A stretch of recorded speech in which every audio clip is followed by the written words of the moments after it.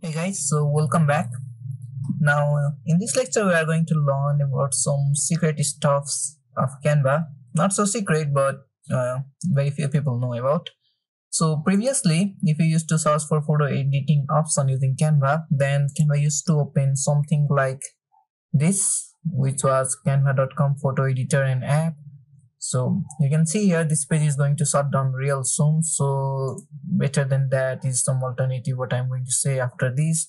But this had some great stops. You could upload your photos, for example. Let me upload one. So you can see it's uploading. So it's uploaded. So it's it uploads pretty fast. So it shows here try Canva is free, but you can go inside the Canva of its own so let's see. It used to give some basic features like you know uh, brightness contrast and saturation all those stuffs. And you could apply some layers above it like a filter. So you can see there are filter options as well. So let's keep it back to normal now. You could do some cropping. Basic of the cropping you could add some text in it. You could have some collage created in it and definitely some saves and elements inside of this.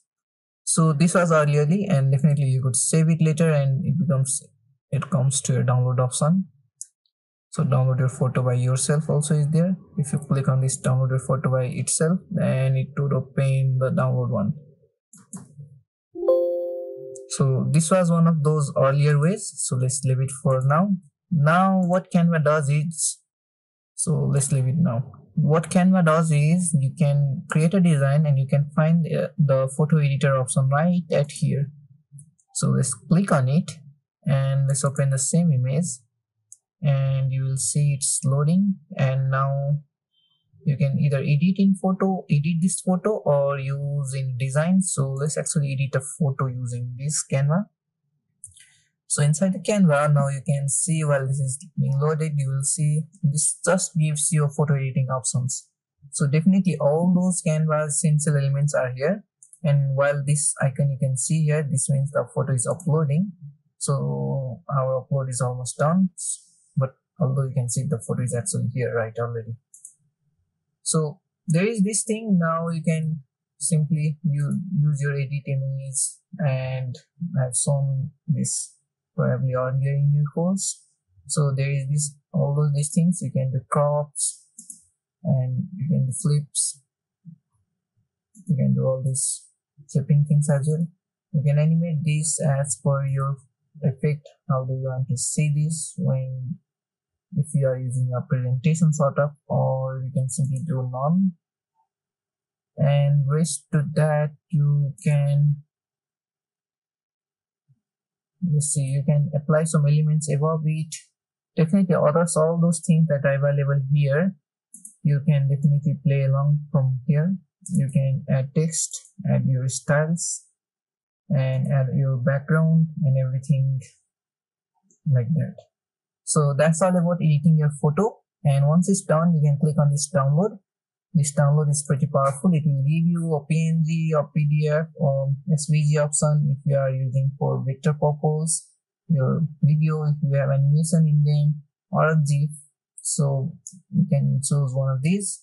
And i would normally prefer using your png or the default what it gives. If you prefer to increase the quality you can definitely do. You can see it increases the quality as well. But Canva is powerfully powerful to like give you high resolution quality. I would recommend not to lower this definitely, but keep it in your original size or greater if you only want to do some specific task. If you are working for social media purpose, then keep it on your original or one at right here. You can have some transparent background. So currently my background is not transparent, so don't worry about that you can compress your file for but the quality gets reduced but however the file size is less now.